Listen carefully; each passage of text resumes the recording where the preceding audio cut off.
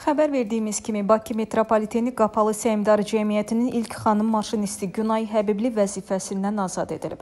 Həbibli Pravda aza danışıb. Həbibli işdən çıxarılmasına səbəb qatarı idarə edərkən mobil telefondan istifadə etməsi, dəfələrlə xəbərdarlıq edilməsinə baxmayaraq təlimat qaydalarını pozaraq mobil telefonla danışması barədə deyilənlərə belə cavab verib. Səbəb bu deyil.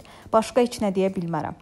O, qurumun mətbuat xidmətinin rəhbəri Bəxtiyar Məmmədovun Günay xanıma metroda başqa iş təklif edildi, amma o həmin təklifi qəbul etməyərək işdən çıxmağı üstün tutdu. Açıqlaması ilə də razılaşmayıb. Mənə başqa heç bir iş təklif olunmayıb. İşimi hələ də sevirəm. Bundan sonra Allah nə yetirsə o, nə deyim. Xatırladaq ki, Həbibli 2019-cu il aprelin 1-dən Bakı metropoliteni Qapalı Səhmdar Cəmiyyətində maşinist kimi çalışırdı.